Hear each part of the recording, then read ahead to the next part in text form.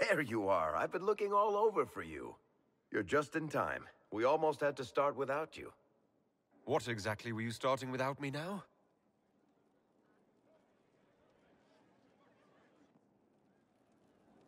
Look who showed up, everybody. Deal him in, would you, Ruffles? I do hope I recall the rules. It's been ages since I've played a game of Wicked Grace. Grab a seat. We're ready to start. Are we playing cards or what? Are three drakes better than a pair of swords? Ugh, I can never remember. Seeker, remember how I said, don't show anyone your hand? That rule includes announcing it to the table. There's a crown on his head, but a sword too. His head didn't want either. Don't talk to the face cards, kid. You seem to have enough people. I have a thousand things to do. Losing money can be both relaxing and habit-forming. Give it a try. Curly, if any man in history ever needed a hobby, it's you. Dealer starts. Oh, I believe I'll start at. Oh, three coppers. Do you think that's too daring? Maybe I'll make it one. No, boldness. Three it is. Seriously, who starts at three coppers? Silver or go home? Sounds good. I'm in. Bolder the better, right? I'm in. Me too. Well, are you in? Just remember, I'm still new to this game. Don't worry, you'll pick it up in no time. So shiny. Just remember, if you run out of coin, you can still bet your clothing. What? You didn't tell me that. Is it my turn? Is this when I place a bet?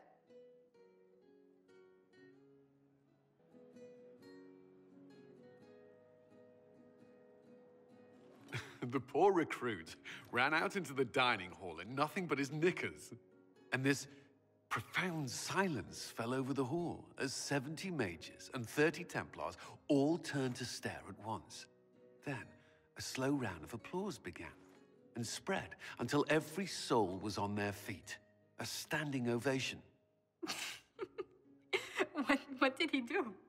Saluted, turned on his heel, and marched out like he was in full armor. he did not. Good man. You're shitting us. That's how you know it's true. I could never put that in a book. Too unlikely. I've got one for you. Firstly, my aunt is known across the Free Marches for her love of Antivan opera. So, of course, when a performance of The Murder of Queen Madrigal opened, she made us all attend.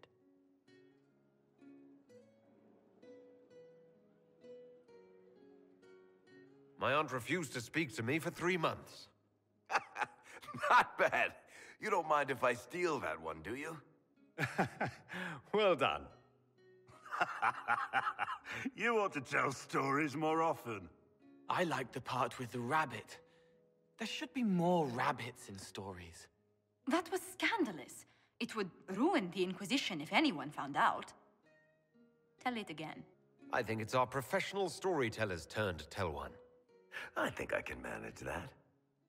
Uh, did I ever tell you about the time we broke into Chateau Haine? It started, as most capers do, with a trap.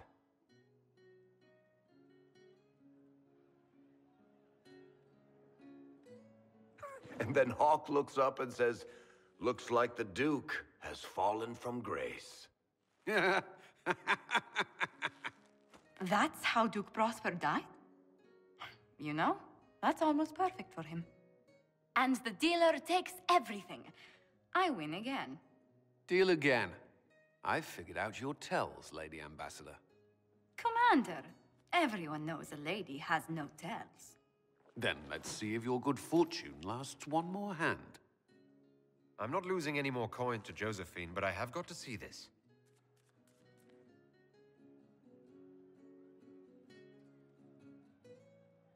Don't say a word, dwarf.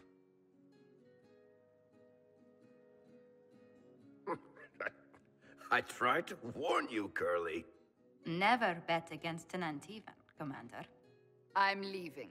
I don't want to witness our commander's walk of shame back to the barracks. Well, I do. It comes off. I didn't know it came off.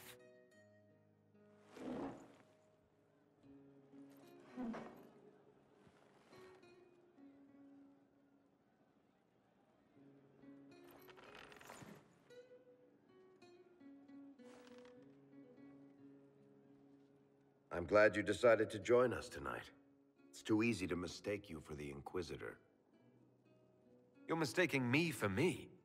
How much did you have to drink? It's easy to forget you're not just an icon or symbol.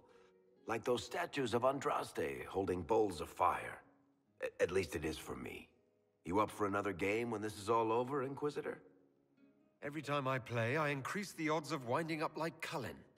You're never more alive than when you're about to lose your pants, my friend.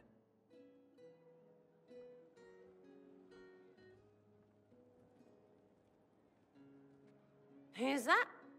Did I win? I've got one for you. So, my kith was hired for a simple caravan escort in southern Nevarra. Twelve days of walking alongside donkeys and men who smelled like donkeys across flat nothingness. Shokrakar turned to the donkey and said, We'll let this go if you will, and walked away. I've got one for you. The clan decided to camp near this ruined fortress, right on the edge of the Tirashan, dark as the bottom of a well. The keeper swore up and down it was safe, but some of the hunters started hearing noises in the middle of the night. They ran out of there, fast as you think, bare asses shining in the moonlight, the whole way back to their village. I've got one for you. There was this time the Carta sent me to do some collections. Just pick up the protection money and bring it back by any means necessary. What they forgot to tell me was the first business on that list was this old seamstress. He never paid a rusty copper of protection again, and if you mentioned her name to the Dasher, his ears turned purple. I've got one for you. It was the night of my harrowing.